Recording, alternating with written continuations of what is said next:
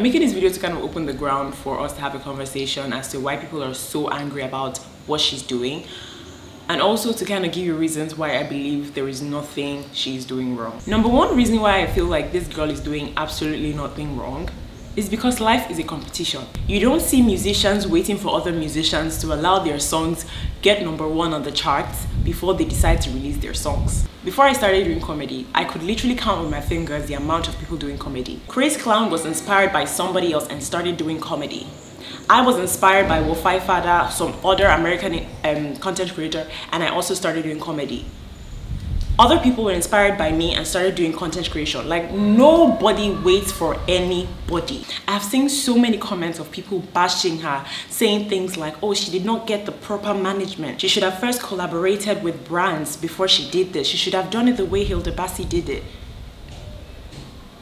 what if she cannot afford it? What if she's just a random girl from Ekiti who saw Hilda Baci do this and decided since Hilda Baci did this, I can do it too. And it's very, very sad because the majority of people bashing her are women. For such a long time, women have not been inspired to do anything. But now is the time where women are actually aspiring to break records in Nigeria. And we are pissed. Why should anybody wait for anybody? Tell me one reason.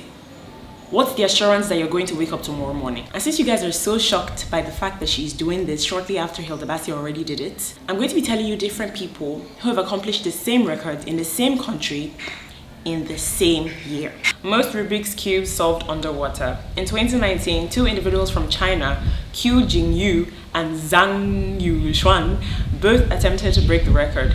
Qiu Jingyu initially set the record for solving the three Rubik's Cube underwater, but Zhang Yujuan determined to surpass him and set a new record by solving the five Rubik's Cubes underwater on the same day.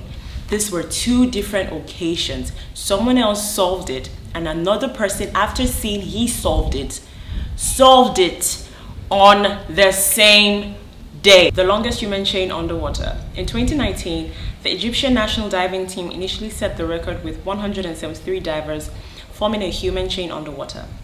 But the Ocean for Sustainable Development Group managed to gather 182 divers, surpassing the previous record and setting a new one.